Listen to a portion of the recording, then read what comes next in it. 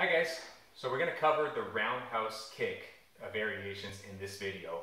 Um, if you haven't seen the front kick video, it's going to be very similar to what we did there. It's going to be one with the lead leg or a variation with the lead leg and then a variation with the rear leg. So one's going to be slide roundhouse and the other's going to be rear leg roundhouse.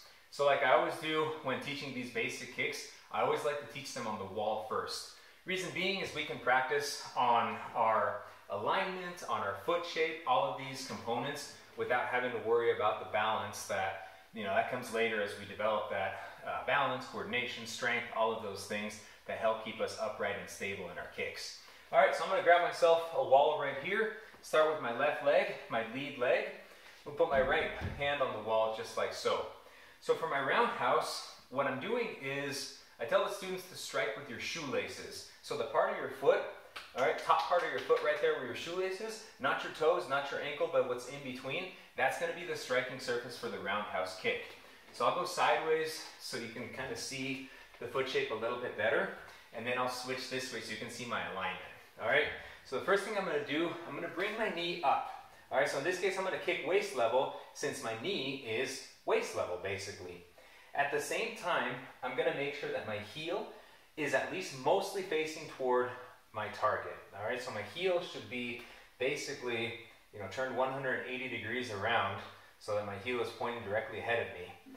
My knee, or excuse me, my head, my knee, and my heel are all in one line right there. So if someone's going to take a big pencil, they would be able to draw one uninterrupted line from my head to my knee to my heel.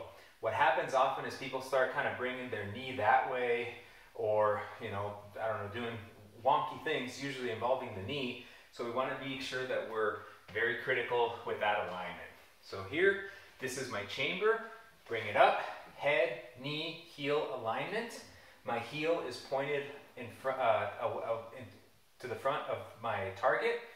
And my foot, I'm gonna curl my toes, almost like I'm curling them back. All right, so I'm getting ready to strike with my instep. And I'm here, and of course my hand is up by my face. All right, that's the chamber. The execution of the kick now, all I'm gonna do is my knee is the hinge, and I'm just bringing it out like so. Notice I'm pointing my toes toward my target, because again, I'm striking with that instep right here, shoelaces, all right? Chamber, lockout, recoil, and down. So it's very important that your knee doesn't start you know, wobbling about. That'll make your kick inaccurate um, and not strong. So one more time, chamber, lockout, recoil, set it down. All right, you'll show it from this angle so you can see it, the alignment. Chamber, all right, you see head, knee, heel alignment, lockout, recoil, and set it down. All right, so we're gonna put those parts all together to now execute both our slide roundhouse kick and our rear leg roundhouse kick. So with the slide step, again, I'm covering distance, I'm closing the distance between myself and my opponent or my target.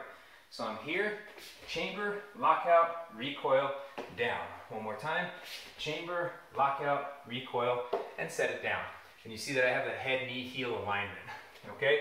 That's the slide roundhouse, slide roundhouse from the other side, chamber, lockout, recoil, set it down, chamber, lockout, recoil, set it down. That's the slide roundhouse. Rear leg roundhouse, we're still gonna be covering that distance, but initiating the technique is gonna be my rear leg, all right? So I'm here, I'm in a good fighting stance, and I'm gonna bring my rear leg, demonstrate on the wall, just as I want you guys to practice to remove balance from the equation. So I'm gonna swing my leg wide, and as I swing it, I wanna make sure that I, my uh, leg that's making contact with the ground, the heel is facing dead ahead. So again, head, knee, heel, alignment. So one more time, I'm here, and I stop right there. Once my heel is all the way turned, my knee and my head are in alignment. Control your uh, the momentum, because at first when you're first doing this kick, the tendency will be to over-rotate, and then your knee and your head and your heel are more like doing a triangle rather than a line. So one more time, I'm here, head, knee, heel alignment, good foot shape, and fire your technique just like you were doing with the slide roundhouse. All right, now I feel ready to practice it off the wall, so I'm gonna come toward you with a couple of rear leg roundhouses. Here we go.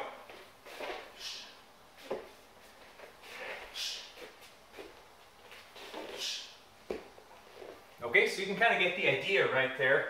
Um, obviously, your alignment and everything won't necessarily be perfect every time, but as long as you keep those checkpoints in mind, are my head, my knee, and my heel, are they in, in alignment? Am I flexing my foot strongly so I can strike with the instep of the heel? Or excuse me, not the heel, but the instep of my foot, my shoelaces, then you'll be in good shape. And like I say, for all the kicks, if in doubt, just do some more wall kicks. It'll help strengthen your muscles, um, help improve the balance, and it'll just help with your kick mechanics all around. So that's it for today. Slide roundhouse and rear leg roundhouse.